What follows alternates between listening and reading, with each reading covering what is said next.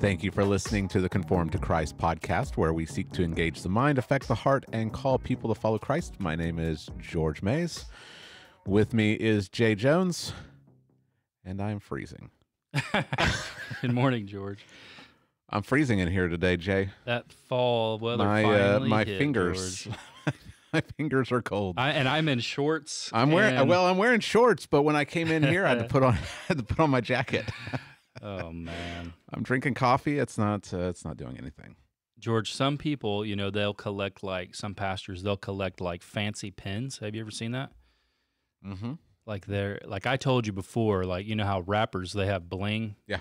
Right. They'll they'll invest money and like it's like.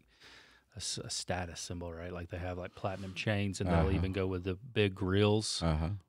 the platinum teeth and stuff. Mm-hmm. pastors it's kind of like fancy pins Yeah. And then they'll display them in a thing Mm-hmm. Yeah. i know what yours will be yours will be space heaters george george george's bling is space heaters Yeah. so if you guys are looking for a good christmas present for george he could always use an extra one Oh no, Jay. maybe What are you doing maybe they could get you some like a It's Pastor Appreciation Month, you know. maybe we could get you uh, one of those new uh like those jackets that are have like a battery operated that Uh-huh. are heated yeah, yeah. yeah There's a there is a very narrow uh, temperature that I can that I can just live in comfortably. I mean, there's just a couple of degrees difference between me freezing and me burning up. You're like you're like a pregnant lady, but all the time. yes, uh. I'm just like a pregnant lady. Oh. I'm sorry, we can't How say many- we can't many- say that anymore. How many people? How many Birth, people? Did, birthing persons. Yeah, that's yeah. correct, right? Birthing persons. Oh, How many people did we lose in the first two minutes of the of the podcast this morning? it's all vanity, anyways. Yeah. So, eh. so yeah, here we are. All right. Well, this Text-driven is, uh, Tuesday. Yeah, text driven Tuesday, and Jay is back in the book of Ecclesiastes. Yep. Um. So, uh, how do you want to set up the sermon? Don't know. I don't know. I don't know, George. It's been a while. Um, yeah. How, Okay. How, how to set it up? so you talked. Uh, you opened the the um, sermon on Sunday by talking about the fact that we live in this uh, this fallen world, and a lot of people just walk through the world, not uh, not really experiencing the fallenness of it. I mean, we experience, you know, Right. some minor difficulties and Mm-hmm. um, you know some some some trial trials, trying times. Uh huh. Um, but there will come a, a point where the veil will be removed and we'll see Right. just how fallen the world is. Right. Yeah. You'll get hit. It'll feel like a like a truck hits you right in the face. Mhm. Right. Um, somebody has like like like there's a unexpected sudden death, Yeah. And you know people they they're so shocked by it initially they're in denial about it, but you know if you're in the hospital and someone's laying there in intensive care, you're like it just hits you Mhm. like if you have a christian worldview anyway like if you know the storyline there like the uh the effects of the fall are v- far reaching and vast um and it usually takes something like that big to hit you to to because we don't we don't just walk around like with that on our mind right. you know, first responders are come face to face with all the time. So police and firemen, you know, they have to live with that. It's a heavy burden that they carry. Is that they maybe don't have the luxury of turning it off because they encounter it every week, Right. like every single week. Uh, but it, but no matter what, I mean, everybody has to deal with it. Um, eventually, hmm could be a uh, um, a sickness like the doctor gives you. You you know, he says, "Hey, you got best you got is two years to live." Hmm. Out of out of the blue, Yeah. right? And then bam, you get hit with it. A betrayal, like somebody, uh, maybe you're one of your best friends. Hmm. You know, you found out like, hey, uh, he's actually not your best friend. Like he ran off with your wife. Hmm. Like that stuff happens in this Mhm. world. You know what I mean? It's, right. and then that stuff just hits you and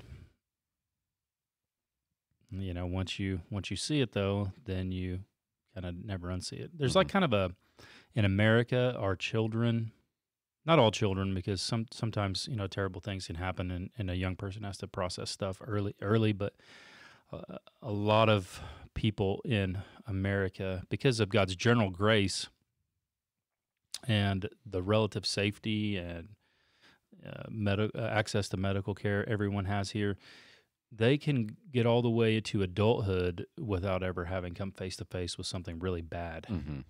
Right. But eventually, eventually something happens and then you're just like bam. Yeah. You just you're hit with it. Right.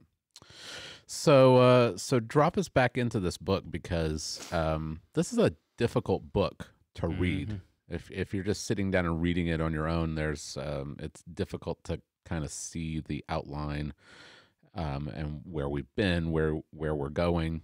Um, Mhm. So, kind of help us. We're we're in chapter three, verse 16 Mhm. going through chapter four, verse six. Right.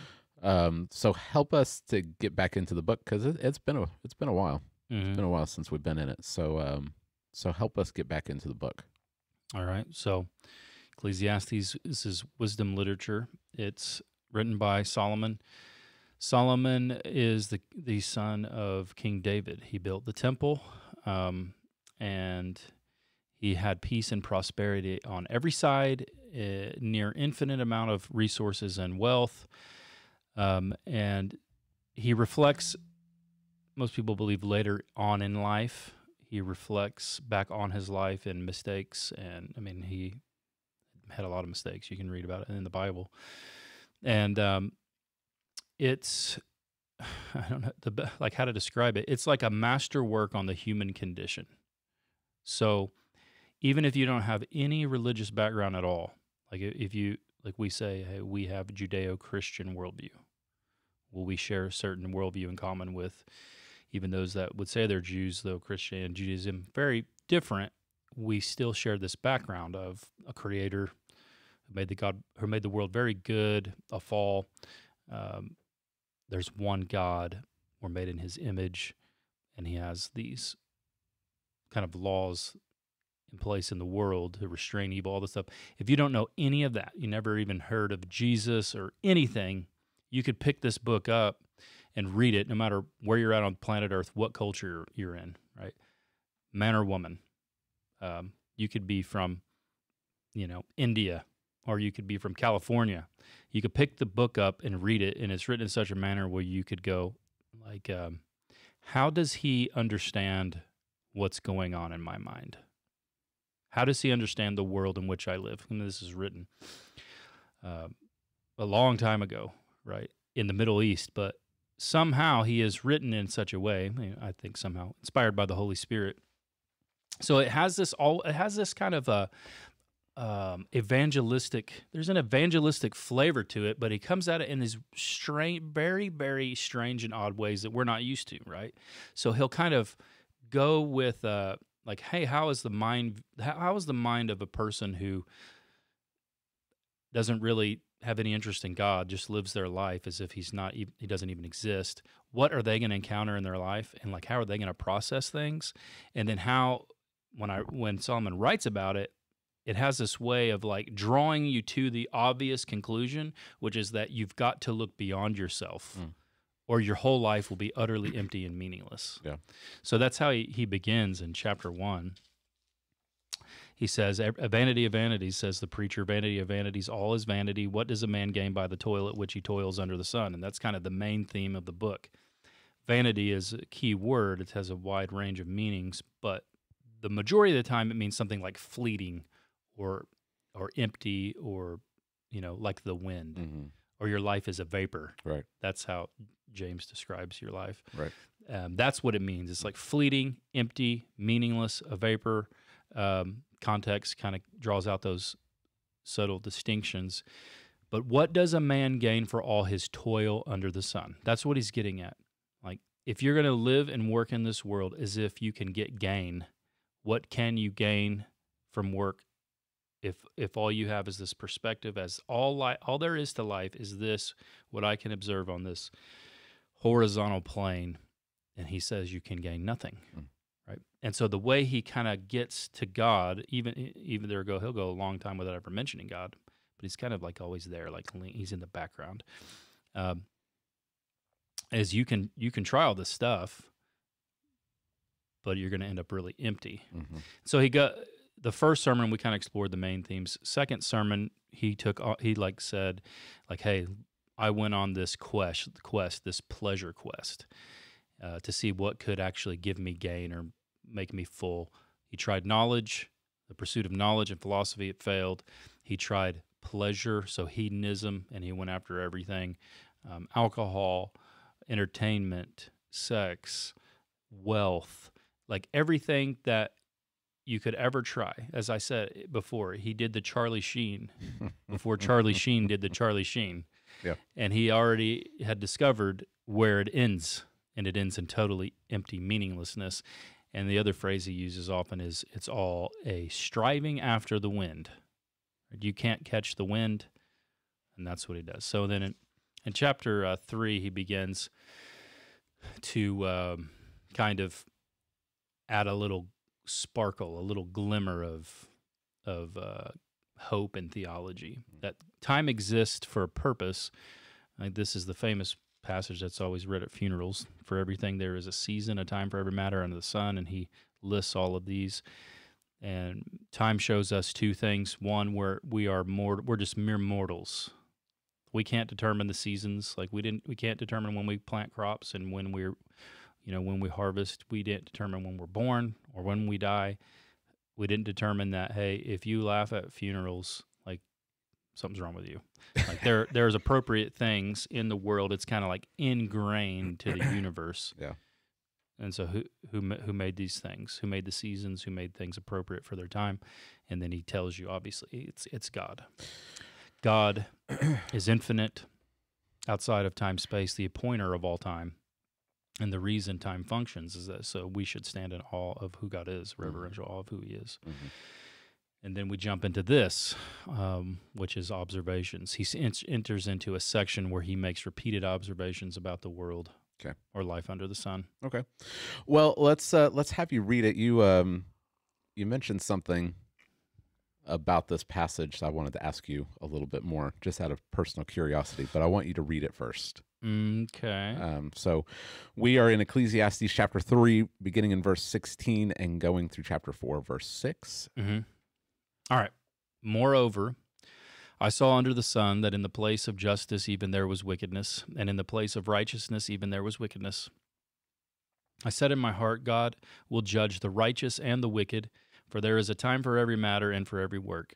I said in my heart, with regard to the children of man, that God is testing them, that they may see that they are themselves but beasts. For what happens to the children of man and what happens to the beast is the same. As one dies, so dies the other.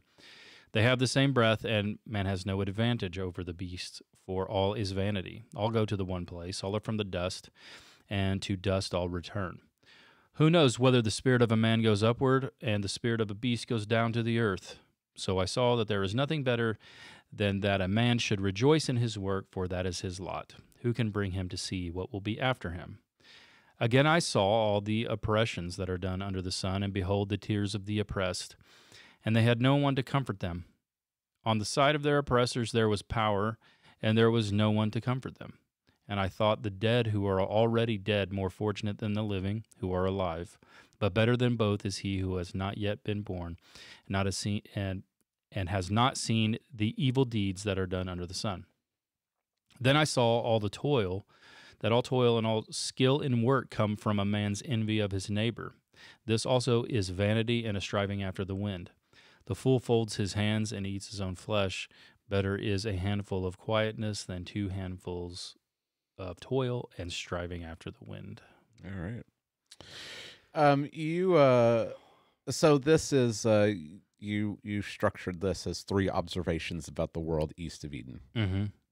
You mentioned um, that some uh, commentators thought that this was maybe possible objections Yeah. to uh, to chapter three. Mm-hmm. I was curious about that. You didn't have time to to go into that, but uh, I was- I was wondering a little bit about Yeah. that. So some people will structure it around like five objections. So Okay. Um, I, I if I try to remember what their five were, and then I'll tell you why I don't think that's the best way to outline it. Um, so objection, injustice, objection, uh, death, um, objection, oppression, objection. Number four is oh objection like envy, okay. Mm. and then number five I believe is where I'm going next week. Objection, um, like loneliness Mm. Okay. or isolation. Okay. So there are things who say, oh, if God has appointed a time for everything under the sun, what about injustice, Mm. death, oppression, envy, and loneliness? Okay. That's good, and I think those are common objections we see. But really, the the textual structure is So kind of a, a theodicy is that is right. is that kind of what's going on? That, yeah, that's what about evil and suffering? Uh huh. Okay. But I think it's the clearest the clearest way to do it is to is to structure around these observations. Okay. So, moreover, I saw Mm-hmm. that's an observation, Mm. and then underneath that observation, there are clear ref- reflections. I said in my heart, right? That's how he's perceiving, Mm-hmm. and then another observation. Again, I saw all the oppressions, and Mhm. then another observation is then I saw. Okay. So that's how I did it. I Yeah. did it based off of those Okay. because I think it follows better the structure. Okay. All right. You see what I mean? Yeah. Yeah. I see that. Okay. So um, we won't rehash the entire sermon. But I will tell you I- this, as I said before, and I'll say again, there are a million different Yeah. outlines to the book, yeah. right? So, uh, It's uh, it definitely is a difficult book. yeah, Um, but I think you're doing a good job walking us through it, and I, I feel already that I understand it better than I did. Um, so we've got three observations, and the observations are really simple um, Right. for us to to see from the text. So we'll spend time on his reflections Mhm. because you said that that this is meant to teach us how are we supposed to live in Right. this in this fallen world. Mhm. Right? How what are- what as believers are we supposed to do yeah, with this? and that it's it's uh, we're I, he spends a lot of time on the observations and then getting to like the one simple philosophy. Uh huh. So the right the style of communicating is probably not the way we communicate today. We'd spend a lot more time on like, okay, now here's how we do this. Right. But he's like front loads all this other stuff, and then there's just a couple of verses on like practical advice. Yeah. you know. And I like what you uh, what you said is that we have the advantage of living after the cross. Mm-hmm. And so we have an advantage to reading this book that even Solomon didn't have in all of his observations. And I think that's I think that's something that we need to be reminded of that um, we are living in the last days. Um, Christ has inaugurated the new covenant. Um, we see God's plan, how it's unfolded. Um, and I think that helps us as we go back to Ecclesiastes. We're not reading this as um, as Jews under Solomon. Mm-hmm. We're reading this as Christians now under Jesus. Right. Right. Yep. So that helps us to uh, to interpret this Yeah. um, in the the way that, in which it ought to be interpreted. Mm-hmm. Right. Okay, so let's look at um, let's look at this first observation, which is that east of Eden, the world is full of injustice, and Yeah. we see that right off the bat. Yeah, I mean, if you have your Bible in front of you, you can just read it. Moreover, moreover, I saw under the sun that in the place of justice, even there was wickedness, and in the place of righteousness, even there was wickedness. Yeah. So, So, um, what is injustice? um, injustice has more of a, a legal connotation, um, and in the in this way, it means something that is contrary to God's law, right? And even if you take that one step further, it's things that are contrary to God's nature. That's important. Okay, Okay. God's laws are not arbitrary; Right. they come out of uh, of Him, out of who He is. So He gives the Ten Commandments. He gives the other laws. He's not just like He's He's giving laws for human flourishing, but they're also a reflection of His character and nature. hmm So uh,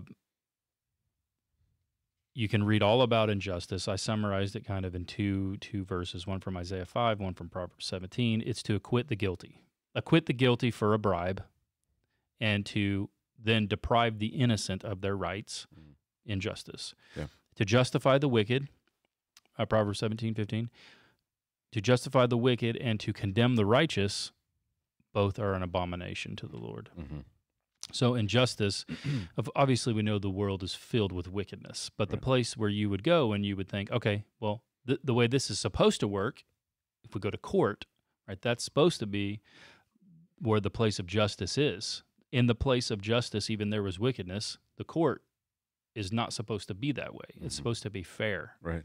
and even, whether you're rich or even like if you're influential, just like the, the, the peasant. hmm Like you're supposed to have equal standing in the justice system. Right. Um, in Solomon's day, it was supposed to be like that, and it's supposed to be like that in our day. Mm. And you know, we have, as, as I said, everyone can see the imagery of it in our courts. The blindfolded lady, that's Lady Justia, Mm. And uh, she's got scales in her hands, and they're supposed to not be biased scales. They're supposed to be even, and, and justice is blind. That's what she communicates. But it's not that way. It's not that way in our courts. And uh, Solomon observes that even in his day, um, justice is often, it is often perverted, and there's wickedness in our courts. I, I think that's that's really um, relevant for today. We're we're always hearing about injustice, Mm-hmm. right? There's injustice all around us. Um, so I think it's it's important for us to to recognize that um, the courts in Solomon's day were supposed to be governed by God's law. Mm-hmm. So God God has given extensive commands for how the um, how cases should be tried Mm-hmm. and what um, what the standard should be, what the punishment should be. So I think that it's it's really interesting that he would say, even in his day, that you look at the place where there's supposed to be justice and there's wickedness, Mm-hmm. um, and that should I think put a little bit of perspective on our own day, um, where our laws, whereas originally they were based upon God's law, Mm-hmm.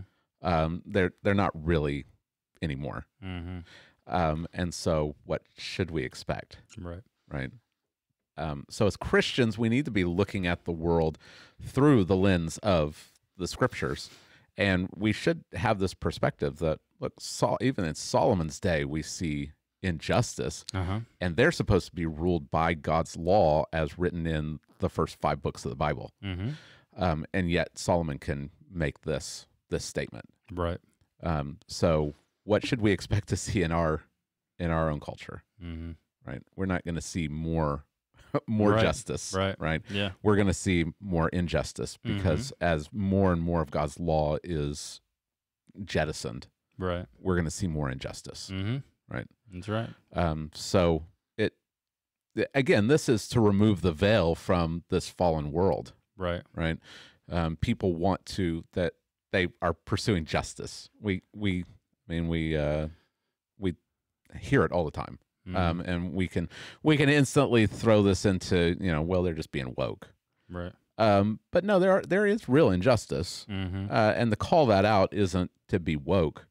Um, it's simply to pull back the veil and say, well, what do you expect? We live in a fallen world. Right. I like what you said about the uh, the um, the law professor Yeah. About the the judicial system here in America. Mm-hmm.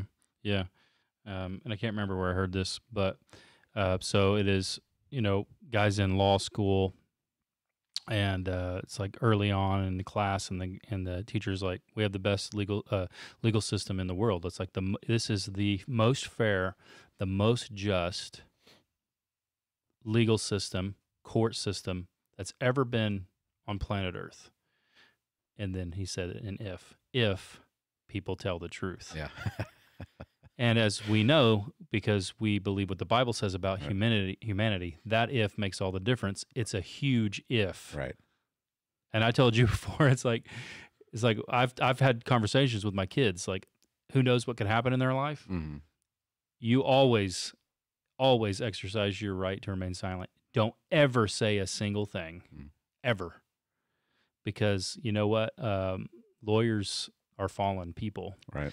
and uh, judges are fallen people. hmm and some people some people will actually lie Yeah. i mean you can turn on i mean go watch uh 2020. You can watch people getting thrown in jail because lawyers are corrupt hmm and they know someone's innocent, but they don't care. They Yeah. want to make a case and Right. you know advance their career and Yeah, I think that's a good reminder of the depravity of man. We, I think we um, will will profess that we believe in total depravity, that it affects every aspect of of humanity. hmm Um, but then I, I think we walk it back sometimes and we think, well, these people are doing this out of the kindness of their of their hearts. Like they've got altruistic Mm-hmm. motives, and we forget that um, fallen mankind is capable of of practically anything. hmm Um, and uh, so that that should remind us of of why there's injustice Right. and what we should expect.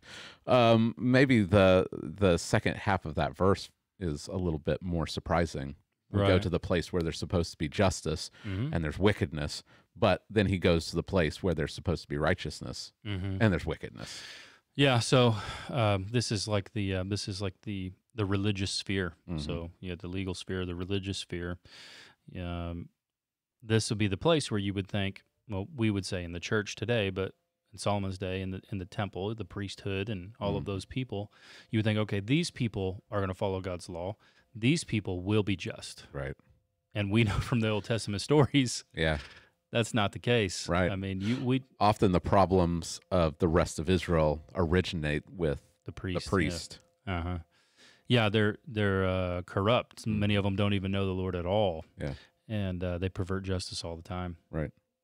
And Yeah. you can see both of the court and the religious world being unjust in Jesus' arrest Mm, and his trial. right. You have the scribes, uh, and you have the uh, the priest and the high priest. Right? They put on a farce trial. They don't even follow God's law in the trial. Right. They have false witnesses even to bear false witness against him. Mhm. Um, but then when they take him to the uh, to the Roman officials, who is the final court, you know, he wields the right to execute. Uh, he doesn't even think Jesus is guilty. Yeah. But he's he's he's really bribed. Yeah. So he's corrupted, Uh-huh. uh, and they demand that. Well, he's bla- he's blackmailed. he's yeah Yeah. he's blackmailed with pressure, like Uh-huh. political pressure, Right. Yeah. because he doesn't want to be known as not a friend of Caesar, Uh-huh. and so he, he has an innocent man killed, hmm and they are yelling for it. Release Barabbas, the murderer. Right. take Jesus, like in the end. So you can see both Yeah. happen there. Yeah. So the the world is filled with if this is what if I mean again you got to remember this is this is Solomon. Go back to go back to First Kings and read the description of Israel under Solomon. Um, the peace and the prosperity, and um, Solomon is is wise, and he's saying this: if this is the best that that the world has to offer, right? This this is probably the best time in human history Mm. is living in Israel under King Solomon. Um, and yet he still can make these statements. What are we going to expect Yeah, I read. I, in, in 21st century I- America? I read something about the prosperity of Israel. I mean, said they said not only was Solomon incredibly wealthy, but everyone in Israel got really wealthy Yeah, because of Solomon's prosperity. said that that silver was considered as nothing because there was so much of it. Yeah. Um, so so we have to remember the context. We have to remember what's going on here. Mhm. um, and it should it, again it puts it into into perspective for for Mhm. America. Um, we're not going to have it better off than than Israel under Solomon. Yep. So what? How are we supposed to live in a world that's filled with injustice? He gives some reflections. Well, yeah. He, so he doesn't get to it yet, but he just he kind of says, okay, um, injustice is going on in the world. Um, so he processes it in this way. Okay, so like God is just. I mean, you have to take it back to God's character in His nature as a Mhm. just God, and he makes this reflection. I said in my heart, God will judge the righteous and the wicked, for there is a time for every matter and every work. So that is, I guess, a way to apply, like, an understanding process that there there's coming a judgment. Mhm. Like the the injustice that we see, there's a reckoning coming. Yeah. He kind of tied back to chapter three. There's a time for everything under the sun. There's coming a time for justice. Yeah. God's perfectly just. Uh, the rock, his work is perfect. This is Deuteronomy 32. All his ways are justice. Um, and just and upright is he. Yeah. I've been reflecting a lot on uh, Psalm 37 Mm. lately, and it starts with "Fret not, over the evildoers um, because they're going to be gone. God's going to sweep them away, and the and the just or the meek will inherit the earth. Mm-hmm. Right. Um, so, it, and we see this all throughout the the um, the the uh, the Psalter, um, Psalm seventy three, Mm-hmm. um, where Asaph is uh, contemplating life Yeah. and the prosperity of the wicked, and Mhm. he goes into the temple and he is reminded of what's going to happen. Yeah. Right, that God's going to judge. Mm-hmm. Yeah, there's a time coming for judgment. I mean, you know, we think about it. If you if you've been personally wronged or had injustice committed against you, you may will think, well, they may just die and they'll they're never. I'm never getting justice in this life. Mhm. That may be so, but God's eternal. There's a day of reckoning coming. There's a day when everyone will stand before Him, and He will judge perfectly based Mm. off of who He is hmm and it will be perfect justice that Right. that is done. Yeah. Like, like uh, Jeffrey Epstein d- is not getting away with what he did Right. because he killed himself, Yeah. um, or or did he? Right? Or did he? So the people, the people even who would want to silence him. They're not going to get away with it Right. either. Right. Yeah. So there's a day of reckoning coming for Mhm. everyone. hmm And, and I, John MacArthur reminded that to Governor Newsom in that letter. I thought that was Yeah. good. Yeah. That you're in great mortal danger. uh, Your soul is in great danger. There's a day of reckoning coming. hmm and uh, and you can't stand before this God. Yeah. So that day's coming, um, and that And that's a comfort to the righteous yeah, as well as a warning to the wicked mm-hmm. Right. Yeah, that every injustice is going to be um, made right. Yep. Yeah. Okay. And so so God is just. There there is coming judgment. yeah. And then he reflects in 18 through 21. It's kind of this reflection about uh, death, but it's I think it's more in line of okay, uh, there's delayed justice. Mhm. There is a day coming. Right.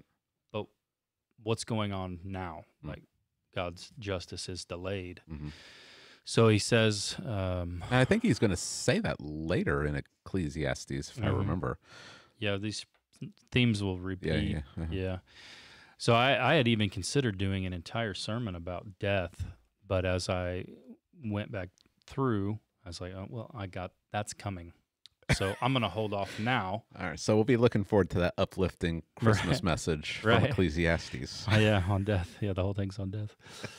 Um, yeah, so he he now he begins to reflect on this, like what's going on. I said in my heart with regard to the children of man that God is testing them. So there's some type of test going on, that they may see that they are themselves but beasts. And then he goes into this uh, further reflection, like man dies just like a beast. Yeah. As one dies, so dies the other. They have the same breath in them. That's God's breath of the breath of life Mhm. and uh, they're gonna we all die just like beast all is vanity that's temporary or fleeting Mhm. in that sense Yeah. um, your life is but a vapor Mm. just like an animal's and we all go to the same place we all return to the dust and then who knows whether the spirit of man you know goes upward or the spirit of the beast goes down to the earth who knows so he starts to say these things that to us seem strange we're like Mhm. well can he what is he talking about Yeah. like doesn't he know so um Yeah. well I guess we can work through these they're kind of uh, they're i think three kind of takeaways from this Mhm.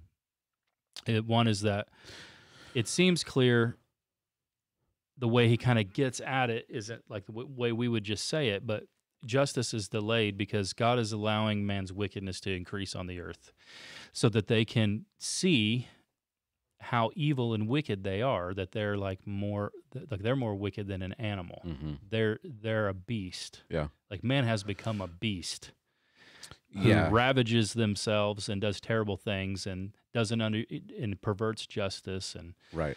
um, Yeah, you. Uh, I mean, I've used this with my children before. that you know, the dog, the dog does what the dog is supposed to do. It does dog things, right? But we, as as sinners, we do things contrary to nature, yeah uh, which makes us worse than an animal. mm-hmm. Um, it's uh, in Proverbs chapter 30. Um, he, he says, uh, Surely I'm too stupid to be a man. uh, because he does it without God's word, we are worse than animals. Right. Um, we can look at the animal world and we can see them doing animal things, Uh-huh. even even you know violent things. Mhm. But that's what they're that's what they do. That's what the animals do. Um, whereas humans who are made in God's image do things that are contrary to what we're supposed to be. Yeah. Right. Mm-hmm. Yeah, and there there's there's kind of echoes of the garden all throughout this and the fall in the garden, and they just pop up in various ways. And I think this is one of those ways. God's trying to remind us we're just beasts. Well, in the garden, what was promised that we would become like God, Mm-hmm. and and we may have become like God in in the one sense that God says is that okay, now we we know good and evil. Yeah. But what do we do with that knowledge? Right. Well, we pervert it, yeah. suppress it, corrupt it, invent various, you know, we're creative in the way that we do evil. Yeah. And even when you look at Genesis uh, one, two, and three, you see a reversal. Mm-hmm. that man is supposed to be um, ruler uh, with his wife coming as helper um, and then uh, they have authority over the beast Yeah. and then in chapter three you see it reversed with Yep. the beast has gained mastery first over the woman Yep. and then she has mastery over her husband and Mhm. it, it's all flipped Yep. Yep. And so uh, we we didn't. We're not really gods, and Mhm. God's reminding us of that. Right. It says like, okay, uh, justice will be delayed. Mhm. Play play God. Yeah. And look at you. Yeah. You're worse than an animal. Yeah. But it's like it's like we get it when there's like horrible atrocities done, and we think this is in inhumane. Mm. We have a word for it, and then we forget about it again. Yeah. It's meant to like break us Mm. and humble us before God. Yeah. Um, Uh, help us help us with uh, with verses um, 19 through 21 okay. uh, what happens to the children of man and what happens to the beast is the same as one dies so dies the other they all have the same breath and man has no advantage over the beast for all his vanity help Mhm. help help us to understand what solomon is doing because we don't just have ecclesiastes we have the entirety of the old Mhm. testament they they had genesis they they knew that man was made in god's image Mm-hmm. um, they had you know Psalm eight that man has been given authority over the animals. Mm-hmm. So what what is Solomon doing here? Because obviously, man is not just another animal. Mm-hmm. Um, what what is he? What what kind of uh, rhetorical device is he using here? He's he's trying to get people to understand their mortality. Mm. Right. We don't we don't live with uh, we live we live as if we're immortal. We put death out of our mind. Mm. Like a young person, this when you're younger, you definitely don't think about it. You think you're bulletproof and you can never die. Mhm. Uh, maybe as you get a little older, toward midlife, maybe you, like every once in a while you start to think like, oh, I'm gonna die, and he just says outright, like, um, you go to the same place, like you're gonna die. The fall, the fall happened. You're cursed. You're returning to the dust. He's reminding them of the curse. Mm. At Genesis three, when you go back there, that's what the last thing God says to Adam. You're from the dust, and to the dust you're going to return. Yeah. And that's why probably in your Bible this section might even be called from dust to dust in some Bibles. Mhm. So you're you're mortal. Um, you're not like God. You're gonna die. Um, and so that's meant to remind us again. I, I think it, and to and to humble us.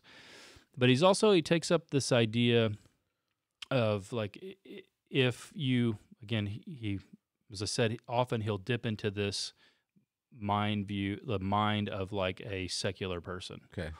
So if you're a secular person and you begin to look at the world, make an observation. What happens to you happens to an animal. You just die. Mm. The animal dies, you die too. Yeah. Um, and that reveals this further element of ignorance that you don't. Not only do you see that, you don't know what happens Mm. when you die. But Jay, we're just all stardust. Right, Doesn't that- right. Doesn't that doesn't that inspire awe I know. in yeah, your yeah. in you? Yeah, we're all stardust. Uh-huh. Yeah. Um, but nobody wants to be uh, just dust. Right? Yeah. There's eternity has been put into the heart of man, which we already saw Yeah. in chapter three. Yeah. Um, but God's showing us our ignorance. Not only is He showing us our that we're just mortals, we're going to die like the animals die. Mm. Uh, God's showing us our ignorance. Who knows whether the spirit of a man goes upward, spirit of the beast goes down to the earth? Who knows? Like uh, nobody, you don't know that. Nobody knows that, right? If it, if you're just going to live in the the secular way Mhm. with little little to no regard for God and pursue pleasure in the world, make your observations then. Yeah. What happens? What happens when a man dies? Right. Well, that that cow just died, right? that guy just died. Yeah. We're gonna bury him, hmm um, and then you have all various speculations. Right. Right. You have all these different views of it, Mhm. religions. Yeah. You know of what happens after somebody dies. So uh, so don't don't formulate your uh, your theology from these statements Right. Yeah. in in Ecclesiastes. Yeah. I mean, um, He's asking these questions, but he's not. well, he knows the answer. He knows the answer because right? he, he'll state the answer explicitly Mhm. at toward the end of the book. Right. He'll just he'll tell you exactly what happens when Uh-huh. you die. Your spirit returns to God, Right. Yeah. and you know then there's the judgment, right? Uh-huh. Your spirit returns to God. So he knows that. So these questions they're functioning in like in this rhetorical fashion, Right. and they can be coupled with the other question. Yeah, seven, 17 and 20 and 21 would be directly contradictory if if uh, we were just putting a theology together, Right. Right. Mm-hmm. um, because he, he's already said that God's going to judge. Yes. And he asks another question who can bring him to see what will be after him Mm. in 22. So you put that one together with uh, with this question here uh, on 21 who knows where the spirit man goes upward? And the answer is from the secular worldview. They don't know. hmm No, nobody can tell me what happens after and what happens. I, it's just speculation. hmm But the obvious one that's staring you in the face is the one who appoints all the time from chapter three. He knows and he can tell you. Yeah. Right. So God can tell you, God knows. So death is meant to uh, to take us to this place of humility where we would look beyond to God. Yeah. Uh, for our answers to these questions. Okay. And the language I said is real similar to Psalm 90, for, Psalm 49, Mm. 13 through 15. And there are two men in that too. There's the really uh, proud and arrogant man. Um, and his, he's like a sheep appointed for Sheol, and death is his shepherd, Mm. right? It is very vivid language. But the humble person, God will ransom my soul from Sheol. Mm. So there's the difference there. Okay. And so that's the first observation. Okay. Yeah.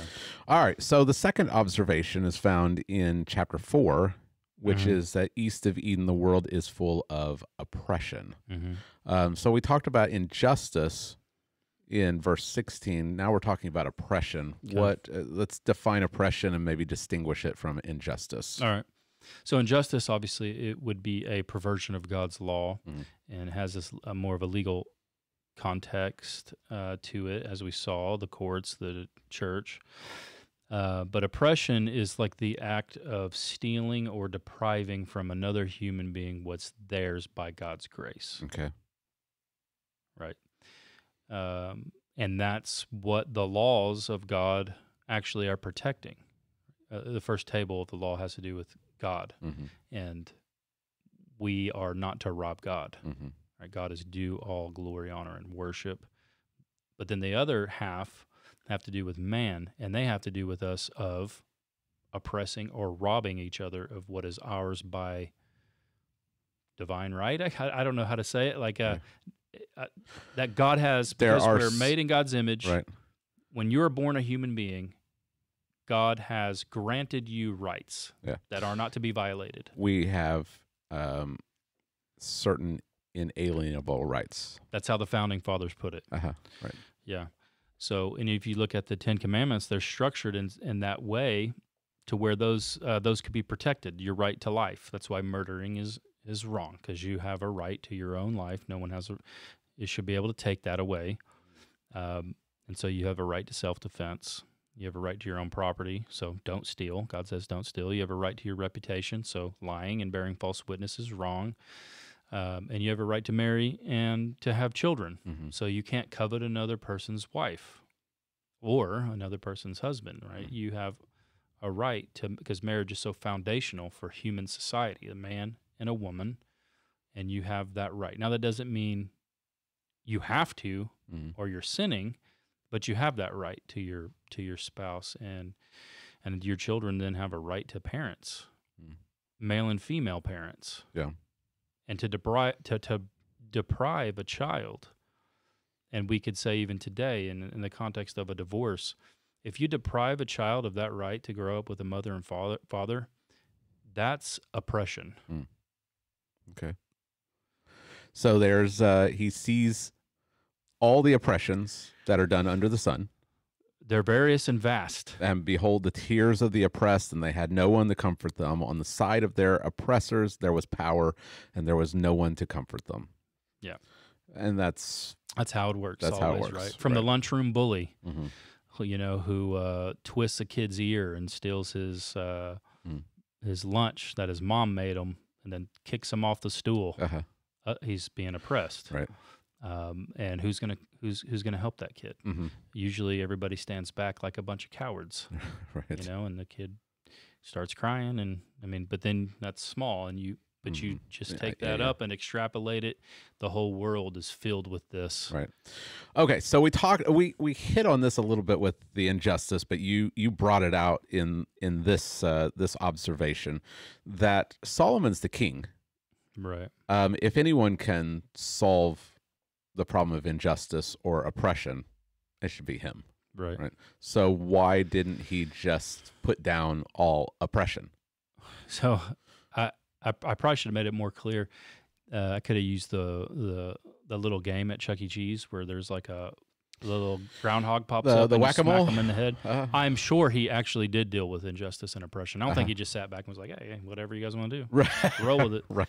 Um, but when you, you whack, wouldn't you wouldn't have the description of his kingdom in in First Kings Right. that we have right, if he was uh, just whatever. yeah. So, so first thing to I, I should have made it more explicit too is he's not the ruler of the earth. He- right. He can even observe other nations. Uh-huh. Yeah. and other the way their governments function and the way their people function. Yeah. But even in his own, I mean, he could smack some oppression down like the groundhog, and Right. then what happens? Oh, it pops up over here. So I spend my entire life just smashing out oppression everywhere. Well, I thought I think that your your illustration of the lunchroom bully is also a good example because there are there are uh, uh, multiple uh, ways in which we can oppress or be oppressed that aren't against the law, Mm-hmm. right? Right. Like not all oppression is um, illegal. Sure. Divorce is perfectly legal in the United States. Mhm. Right. Um, that doesn't mean it's not oppressive. Right. Um, there's a there are there's various various things. Mhm. Um, you could put you could theoretically not violate God's law, I suppose, and uh, skirt around your responsibilities to uh, not acquire more than you needed, uh, like of your, like I say, of another family's land. And next thing you know, they're without any land.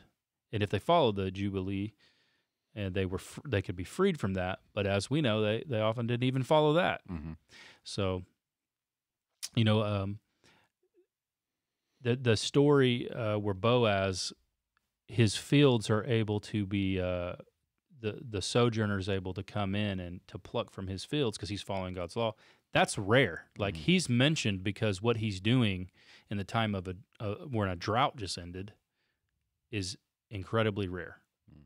So people would follow God's law, but you know maybe for show we've got one where we leave the but the rest of my land i'm just i'm just harvesting all of it Yeah. you know what i mean Uh-huh. there's just various ways Right. and he can't he can't end he can't end all oppression hmm you know Yeah. Well, I think about our, our own government, and our, our government is, you know, trying to free the world of all of, Right. of, of you know all oppression. That's why you know they want to move to electric vehicles uh, because um, you know fossil fuels it's uh, contributing to global warming and global warming they even say it's like a that's like a racism right. issue um, and uh, you get rid of fossil fuels to end that oppression but then you have electric vehicles and where's the materials coming from to Right. make yeah. those uh, you've got you know child slaves Yeah, You know, lit- child, yeah. chi- child laborers that are digging, Digging up, up the, the- the materials to Mhm. make these batteries so you end one oppression but another one pops up Yep. um, uh, you know, you've got Biden that just uh, released his, you know, his plan to end world hunger. hmm What in twenty by twenty thirty five or something like that. I don't know. How's he? How's he going to do that? Yeah, I mean, that's right. he's gonna. You know, he's he's trying to end this this oppression. We're all going to eat cockroaches. I guess so. I guess so. Which is uh, oppressive. Right. It's you know, it's just another. It's just another form of hmm of oppression. So it is. It's like that game of whack a mole. You you put down one form of oppression, and it pops up somewhere else. Slavery is a perfect example. Yeah, yeah, We're obsessed in America with, you know, our, in America, our uh, complicity in slavery, Uh-huh. which, you know, for, for the most part was between 1525 and 1866. An atrocity for sure. Mm. Uh, Mhm. 12.5 million Africans. And only 10.7 actually made it over here, which Yeah. is crazy to think about. But yeah. uh, obviously an evil, a great evil. That, um, but who who went about putting out that oppression? It, shocker, it was Christians that did that. Mm. People like like to ignore that part of history, Yeah. and that England even had um, even England addressed it without a war. We had a war over here, God's judgment on us, but which was another form of which was another form of Oppression, right. Tons of people died, Yeah. and we're still dealing with mm, it today. Yeah. Uh, but we didn't invent slavery. right, right. Right. What Like say, next? yeah, year, right. next you're going to tell me that Yeah. white people didn't invent slavery? Yeah, white- Jay.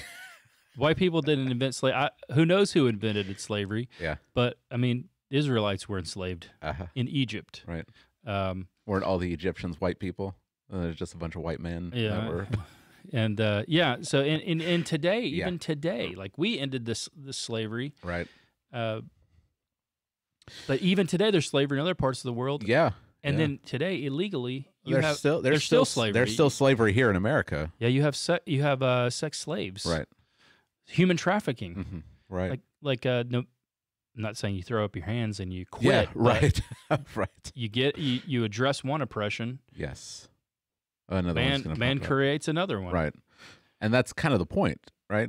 Like we we live in a fallen world that you, you even said that oppression is so ingrained in the world that you can't stamp it out. Mm-hmm. Again, that's that's not to say we don't do anything ag- against this kind of oppression, but it does um, it does if we're living in the world under the sun, there is futility to it. There is this sense of there's what can we do? We we can never get rid of all oppression. Right. Yeah. Um, so there is that vanity Mm-hmm. if we if we're just living in this fallen world under the sun and we try you know we think that we can accomplish this uh you know whatever you know whatever the president's plan is to end world hunger it's going to end up being vanity Mm-hmm. um, because as soon as you solve or you know think that you've solved some problem something else is going to pop up Mm-hmm. uh, because of this fallen world. And then we get uh, we get these difficult verses in Right. verses two and three Yeah. uh, that we've got to talk about Okay. because what what are we supposed to do with this? And I thought the dead who are already dead more fortunate than the living who are still alive. It sounds like Solomon is saying, "Why don't you just go kill yourself, Jay?" Yeah. that's what that's what it sounds like. Yeah. But better than both is he who has not yet been and has not seen the evil deeds that are done under the sun. We talked about this, I don't even know, six months ago. These people that um, say that we shouldn't have any children, Mm-hmm. right? You remember talking about that? yeah. Um, it seems like you could look at verses two and three, and you could say, Right. well, why? Well, they have. Why I think they even we- had that in some of Yeah, I, the th- proof I. I probably why why should we have why should we bring children into this fallen world? It's Mhm. better that they never are even born than to experience a world that's filled with oppression. right. So what do we do with verses two and three? How how do we not how do we not just become nihilists and say, Mhm. well, why why don't we all just commit suicide, and then we don't have to live in this oppressive world anymore? We can catch the comet. That's right. Catch that comet Yeah. like uh, that one cult. Yeah. Get us out of here. Uh-huh. Uh, yeah, I think one observation to make, and I didn't mention it, is we think that we're living in the worst time in human history. Mm. Um, maybe things have always been really bad. right. we just have more modern technology hmm Then, so now we can record it and stuff. And Right. Right. But maybe things have always been really bad Mm. east of Eden. Yeah. Maybe this place is a wasteland, Uh-huh. and that's meant to make us look elsewhere for help, right? So, so that's one observation. You, But you think you think that the you think that the Middle Ages maybe were worse than than nowadays. I mean, The dark the Dark Ages when when uh, everyone was illiterate and no hospitals and no education and ruled by kings, kings and popes. when you're talking about yeah, like access to and they health had, and they had you know they had the they had the the plague and Right. Yeah. yeah. We have actually uh, we ha- have better technology. We have better health care. Ah. We do generally better. We live longer, Mm. but people have felt like this forever. right. Right. It'd be better if I wasn't ever born. Mm, Like that. That's not something people just started saying today. right. You know, Solomon, he says it. So you read this right, and you go, hmm, like, uh, Yeah. What? These are these are not these are not the verses that your your grandmother is uh you know sewing into a doily. Right. yeah. Yeah. That you can't you're not going to walk into the salt cellar and Mhm. find this on like a, a refrigerator magnet yeah. or with a, a Thomas Kinkade painting and, Mhm. and this is the verse that's that's put on there, right? Right. Yeah.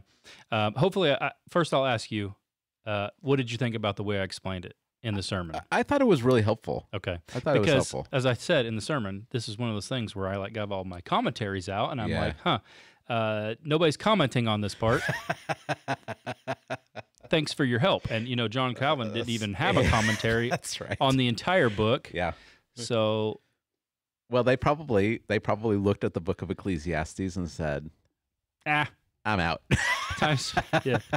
So yeah, so I'm like, okay. So I just sat there and you know, I pray. You, know, you, Uh-huh. you if you don't pray for insight, then Right. you're just stupid for for trying to be a pastor. So sit there, which is difficult for me because I'm a doer, right? For me to Mm. sit still is difficult. So Yeah. I just sit still. I'm like, all right, think about draw from what you've read before about the problem of evil and suffering, the way the Bible talks about that, and and so I just see like, okay, this this this is really functioning more like a lament. Mhm. So we don't read it. Number one, don't read this as a statement on reality. Right. Like God's not telling you the truth of, hey, the way reality is is that it would be better if you were never born. right. right.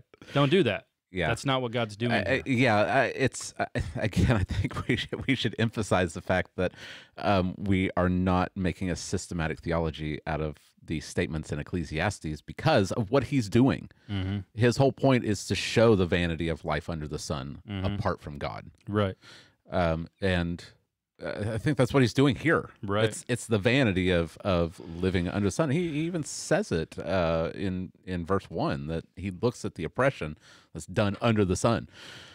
Yeah. Um, and what does it look like if this is all there is? hmm If if the logical conclusion of atheism is just kill yourself, Right. why not? Hmm Uh, get out of here. Right. why why do you why do you go to the doctor to try to prolong your life when it's just filled with misery and Right. suffering and we're all just stardust anyway? hmm Um, that I think that's what's going on. So we don't come to this and say, well, this is um, this is the Christian evaluation hmm of the Right. world.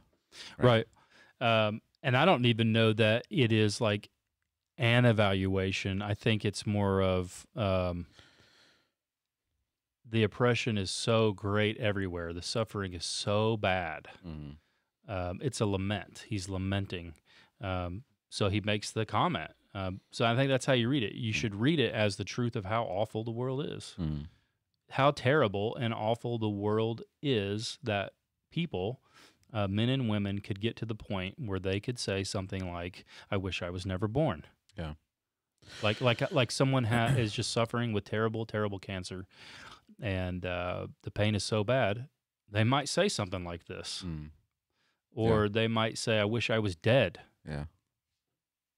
So read this as as not as telling you this is how reality is, but that that the world is so bad that people can lament in this fashion, that they'll say things like this. Yeah. So I don't I don't think it's I don't think it's sinful. Like if somebody suffering in pain is that bad, because the thing we forget a lot of times is that the fall has psychological consequences Mhm.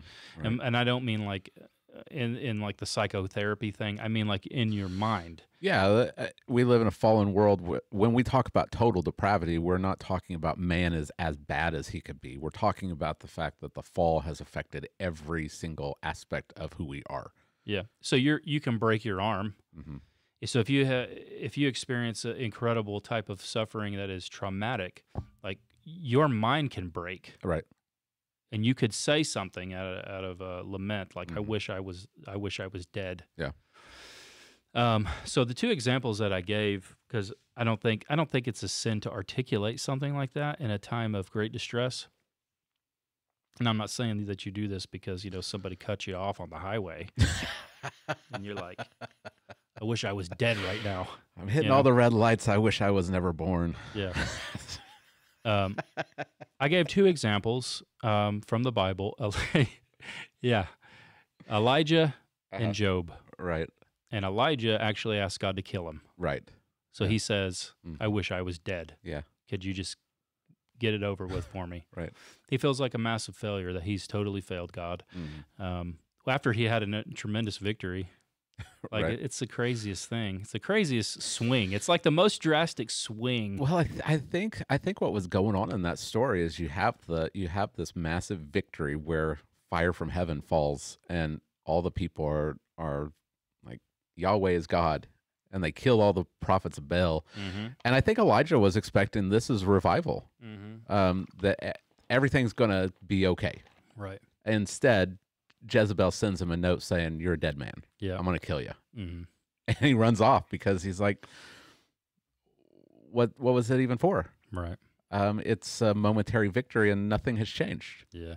Um, what what else can, what else can happen? What what needs to happen for there to be actual revival? If if fire from heaven doesn't change the people's hearts, then what am I even doing? And God and God doesn't kill him. No, And God Uh, doesn't even go, could be in weak. like what's wrong with you? What's what's wrong with you? You see Yeah. what, what I just did? You saw it with your own eyes. Mm, Quit being a baby. yeah, No, like God's kind and, and ministers he ministers to him. Uh-huh. It gives him some some really, really dope food. it gives them some food. The food is so good. Forty days. yeah. Right? yeah. It's a it's an interesting story. Then of course you have Job. Uh-huh. the first words out of Job's mouth when he speaks um, in chapter three is that uh, he wishes he was never born. hmm You know, he's sitting there on the ash, and he's got this worthless wife and uh, and these friends that are no help at all, just make things worse. And and he says he wishes he was never born. Yeah. And they're not alone. Jeremiah does it. Mm. I I didn't double check. I think Jeremiah maybe does it a couple of times in the book of Jeremiah Yeah, um, because of how terrible it is in Jerusalem. And he all he ever does whenever he opens his mouth is declare destruction. And Yeah. the people just laugh at him. And here comes that crazy. Jer- I mean, it it's like the guy with the you know the the big the end is nigh. card cardboard sign. Yeah. That- that's what people looked at Jeremiah as. Uh, we could see a uh, we could see a foolish and and I think sinful uh, way of someone doing this hmm with Jonah. Right. Yeah.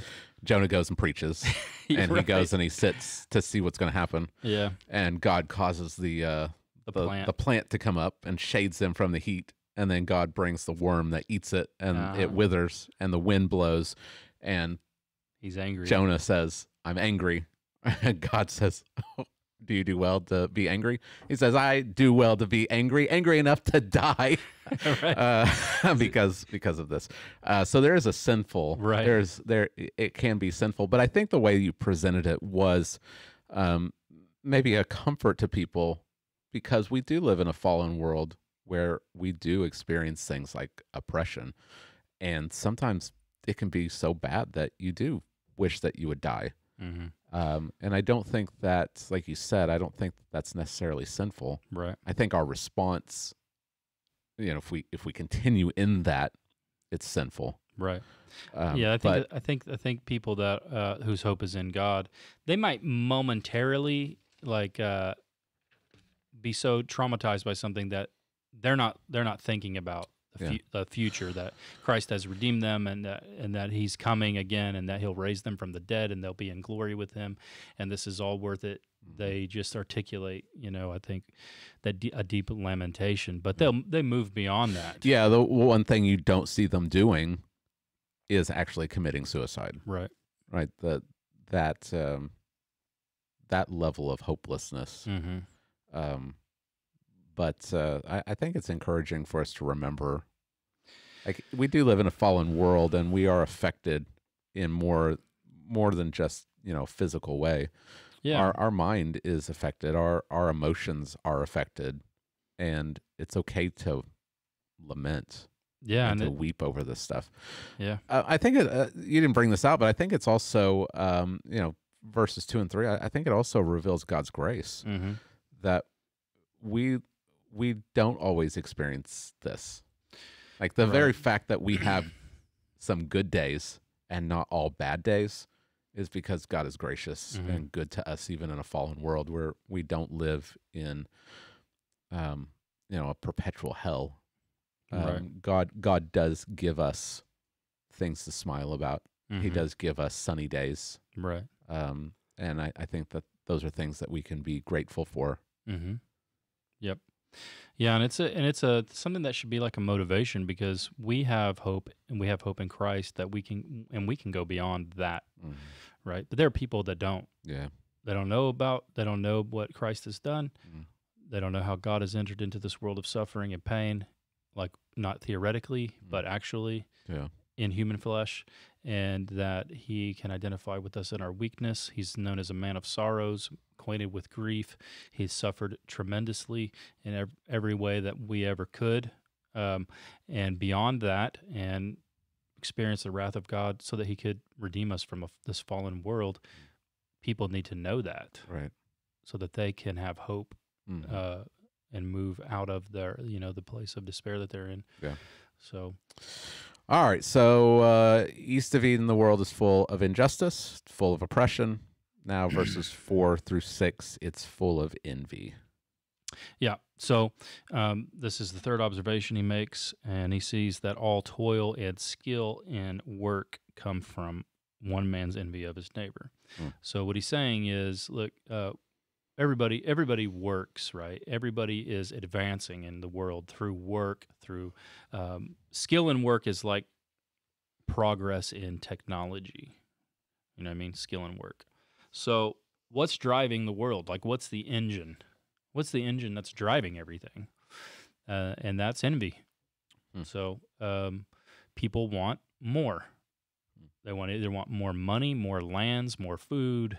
Uh, they want they look at their neighbor's stuff, and it could be even intangible things like I, I want to be influential like that person. I Hmm. want to I want to be charismatic like they are. I I want to you know I I want what they have, and so people then go to school to acquire those intangible things, those skills. Um, they commit themselves to work and they labor. But it's not just on an individual level. I mean, this is at this is the history of the world and why there's wars everywhere. Nations do this to other nations. They want their land. They want their resources. Uh, they want their water supply. I mean, you name it, right? Yeah. Um, and there's wars and nations raging against nations, Hmm. um, and envy drives the whole thing. And it it's a big black hole in your heart. It's a striving after the wind. Yeah. You- they'll they'll envy's never satisfied. Mm. You can never satisfy it. So if you covet your neighbor's stuff and you get it, well then you're going to covet somebody else's stuff, Right. And you're going to want that too. Yeah. So this is what drives drives the world, and there's the reason there's injustices and oppression is because um, the big gigantic wheel um, of of history and humanity is driven by envy, Mm. and it'll run over anyone and do anything. Yeah. So Uh, so uh, how should we work in a world that's driven by envy? And this is kind of uh, the the underlying, I think, kind of main idea and theme. He gets at it though by ta- talking about all the the terrible stuff that's in the world. Uh-huh. But uh, then he gets to um, well, we skipped over uh, 22, which we'll come back to. hmm He kind of gives two ways that people work in the world that that are here. There are those that live for their jobs. There are lazy people. So lazy people first. Um, the fool who folds his hands eats his own flesh. That's a lazy person, hmm right? They uh, all throughout Proverbs we see the person described like that, someone who folds their hands to like Mhm. take a little rest. Yeah. you know.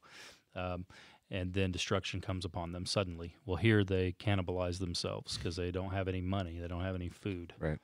Um, so this person's like, okay, the world is crazy, and uh, I'm just going to check out. I'm not going to be involved in this at all. Yeah. I'll be a moocher or whatever. Um, that's obviously not an option for Christians. And the other one he describes are two handfuls. Uh, it's slavery to work, two handfuls of toil. Mm. It's a striving after the wind. So it's getting all you can. So if you plunge your hand into a big bag of gold coins, you're going to pull out as much as you can, pull it up on your chest, and um, you're going to get all you can. That's the picture of someone who lives to work and lives to gain wealth, and it's uh, it's striving after the wind. Mm. It's it's empty and meaningless. They can never have enough. The third option there is uh, the one handful of quietness. That's the that's the goal. How do you live in this fallen world with one handful of quietness? And it took a lot of text to get there. So the point is to be content, uh-huh. to live in this world content. Now, how do we do that? Well, we have a proper perspective, which we already are able to draw from from what he's talked about in chapters, chapter three. Uh, but if you go back to th- uh, 322, he talks about it too. I saw that there is nothing better than that a man should rejoice in his work, for that is his lot. And what is a man's lot? Well, that's what God has given them. God has given you, like you are where you're at.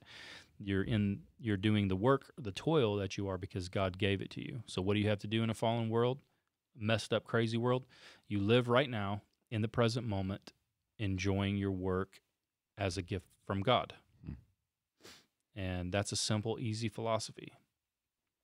But he talked about it in 312 uh, through 13, where he was talking about uh, the sovereignty of God and God appointing all the times. He says this I perceive that there is nothing better for them than to be joyful and to do good as long as they live. Also, that everyone should eat and drink and take pleasure in all his toil. This is God's gift to man. So it's a simple philosophy. Um, understand that God has given you what you have. Enjoy it. Um, enjoy your work as a gift from God, and be content.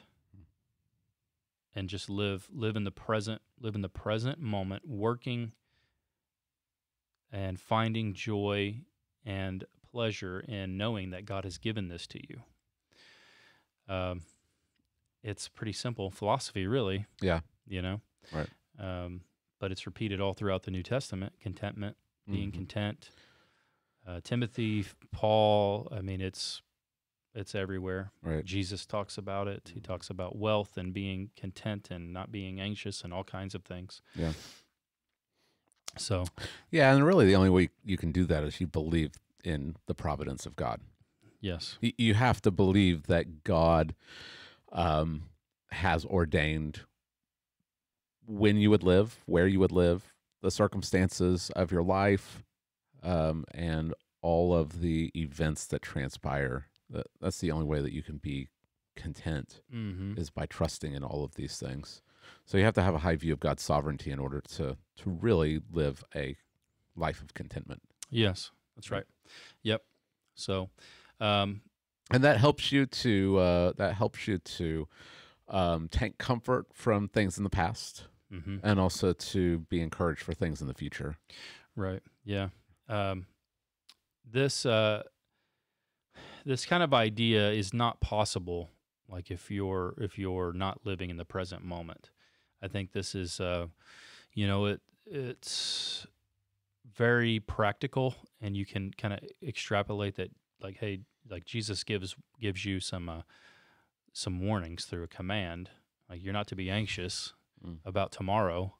Like there are people that only live for tomorrow. Right. They're stuck in what's going to happen in the future Mm. and not knowing what's going to happen. And a billion leads to a, lot of an- anxiety. and like 99% of the things people worry about never happen. Yeah. And the other like 1%, they couldn't do anything about it anyway. Mm. Like, right? You ever heard that? Mhm. Um, so what's the point? Like, and that's kind of what Jesus says. He's like, hey, today's got enough trouble of its own. Like, Mhm. what's right in front of you today Right. for you to do? Do- Yeah. Do that. Yeah. And then when tomorrow gets here, because tomorrow- the- yeah, live in the present. live in that day. but, but tomorrow doesn't even exist. Yeah. It doesn't exist right now. Right. And you shouldn't even presume that it will, right? Mm. Don't don't don't love your parent don't love your kids, right? Tomorrow. You might die on the way home from work. Mm. So today, like if you have an opportunity to, to to be a good father or mother to your kids, then do it. Mm. Do the same thing to your spouse. Yeah. Uh, and also be quick to forgive. Um, not just because you know tomorrow might not ever get here, but you can't you can't do this. You can't enjoy what God's given you today if you're stuck in the past. Mhm. You can't do anything about it. It's gone. It doesn't exist. The past does not exist Right. anymore. The past doesn't exist. Neither does the future. So if you're not forgiving, if you're not a forgiving person, you're just stuck in the past. You just live back there. Yeah. Um, but we aren't to live that way. So, um, what do we have? We have what God's given us. He's what has He given us? He's given us work for pleasure. We don't think about work for pleasure though, Right. because we think work is something that happens post fall. Mm. Well, it's not. Work is actually a little element of what was in the garden that God's preserved for us because it gives us dignity, I think, and and and we're created workers. So he's preserved that for his people that we can still work for God and enjoy it. Right. Took a long time to get there, Yeah. right? right. So we uh we talked about this a little bit um months ago. Um because we were talking about this passage. Mhm. You've got Solomon who is uh, the king of Israel. He knows the promises that God has given to his father David. Yep. One of your sons is going to build the temple and he's going to sit on the throne forever. Mhm. Right. So he's he's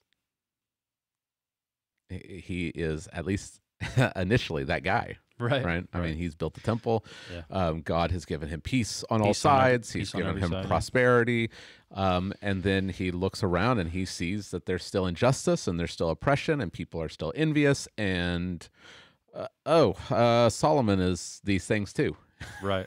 and he can't he can't stop it. Yeah. He can't end this Right. and you can you can almost imagine the the frustration and the futility that he would be feeling knowing that he he can't do this hmm he can't do this um and so this pushes us forward into the new testament Right. Yeah. Uh huh. Yeah. It's interesting to kind of think about that to try to get inside of his mind, right? I mean, because he doesn't. I mean, there there's a messianic element there that's in that in the the covenant with David. Yeah. And it's written about in several psalms Mhm. that he would have had access to, Right. including Psalm two. yeah i'm sure i'm sure that his father told him hmm like that god has made me a covenant that one of my sons is going to sit on the throne forever And all nations are will serve. right right Right. and here's solomon yeah. Right. You're not that guy, pal. yeah You seen that? You're not that guy. Yeah, he, he- he's not that guy. Yeah. So, uh, yeah, we have the benefit of reading this, and that kind of his question was, uh, "Look at the tears of the oppressed. Like, Mhm. who's there to comfort them?" right Well, we know the answer. Mm -hmm. It's Jesus is the one. right He's the one who will comfort the oppressed, and uh, Jesus uh, comes and uh, in his first uh, his first coming, uh, he reads from the Isaiah, Isaiah scroll in his hometown. He picks it up, and of course, providentially, this is the reading from Isaiah 61. The Spirit of the Lord is upon me because He has anointed me to proclaim good news to the poor. He sent me to proclaim liberty to the captives and recovery of the sight to the blind, to set at liberty those who are oppressed, to proclaim the year of the Lord's favor. Mm. And then they're like, oh, awesome, you're here. Let's throw you off a cliff. Right. right.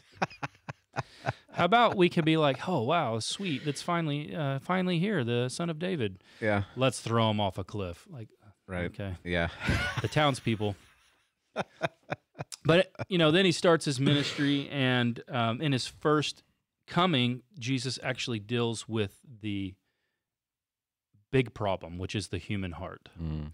So he has to. Uh, he lives perfectly on our behalf, and therefore he is the perfect sacrifice. Obeys his Father perfectly, dies for sinners, rises from the dead after three days, and now he does literally free people from bondage. You're enslaved to sin. If you if you're a sinner, you're enslaved to sin, and no one can set you free but the Son. The Son sets you free; you will be free indeed. So you're freed from that bondage of sin and oppression. The heart issue is dealt with, Mm. um, and so that root problem, which causes envy, um, he fills that, Mm. and only he could fill that. Solomon couldn't fill it, Mm. but he fills it. Yeah. Um, but he's coming again.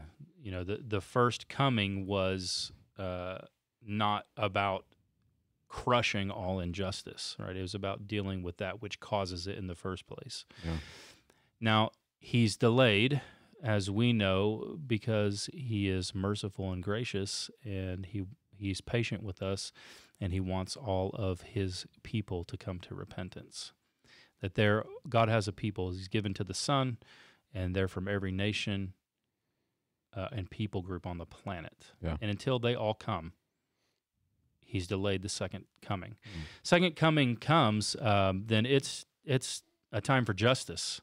Justice and oppression will be smashed. They will be totally dealt with, right? But a really good news for the those that are oppressed. Really bad news for the unjust and the oppressors. Right. Um, And I think Solomon, I think Solomon knew that. I Mhm. mean, he's, I, I think he's trusting that God is going to fulfill his promises. It's not him, but someone someone's coming. And I, I couldn't help but think about Psalm 72 while we were, uh, we were talking about this. Li- listen to, uh, listen to just uh, the first seven verses of this Psalm. And this is of Solomon. Solomon wrote this, and I, I think he's writing it about the Messiah. He's Mhm. writing it in in uh, in hopes of this king. He says, "Give the king your justice, O God, and your righteousness to the royal son. May he judge your people with righteousness and your poor with justice. Let the mountains bear prosperity for the people and the hills in righteousness. May he defend the cause of the poor of the people, give deliverance to the children of the needy, and crush the oppressor." May they fear you while the sun endures and as long as the moon throughout all generations. May he be like rain that falls on the mown grass, like showers that water the earth. In his days may the righteous flourish and peace abound till the moon be no more. You, you got it all there. Right. He, he brings justice, he crushes the oppressor, and he is enough. There there is no there is mhm. no envy because the king himself is like the rain that, Yeah. that falls on the people and they have everything they that they need in him. Mm-hmm. Right. Yeah. Um, so that's that's good. Yeah, That's, uh, that's it. it's it's good how uh, we see Ecclesiastes as pointing to Jesus Uh huh. because it's it's so easy to just throw up our hands and say, I, I have no idea what this is about. right. Yep. Uh huh. Yeah, that's good. So that's it. well, where are we? Uh, where are we going next? So the next observation that he makes here uh, is really about um, like uh, loneliness Mhm. and companionship. Yeah. So we will probably go through the end of chapter four. Okay. So there's a, there's this weird uh, kind of like parable hmm beginning of verse 13 that uh, maybe I'll read some of it, what people say about it. They, Okay. they have no idea what it means, but okay. that's pretty much what they say. But I think it fits in with what he. I, I, I think I think you'll see uh, a couple of people outline it correctly. Yeah. That the whole thing is about loneliness Okay. and companionship, Okay. right? So the rich guy in the beginning of this who has nobody is Mm. similar to this king at the end that Okay. people don't care when he dies and they'll Oh, never rem- they'll never remember him anyway Mm, because he he doesn't have any friends. right. He has no advisors. He won't listen to anyone anymore. So it's kind of about loneliness and companionship. It's the famous one that says, you know, a three co- uh, Right. three strand cord is not easily broken. T- Mhm, two are better than one. Right. That's that's this stuff. Uh, how, how many how many places in the commentaries have been like we have no idea what these verses mean? Have you run across that a lot as you've been going through? Um, only three chapters in, it's happened a couple times. Okay. They say the these verses are uh, really vague, and you know, people aren't people argue about what they mean and Uh-huh. Yeah. And how it fits into what he's saying overall. That gives you And a lot of confidence then when you get up to preach, right? Right. And then people and then people will stop, you know. Uh-huh. A lot of people will stop before that section on the king. Uh-huh. But the problem is chapter 5 begins a brand new thought. Yeah.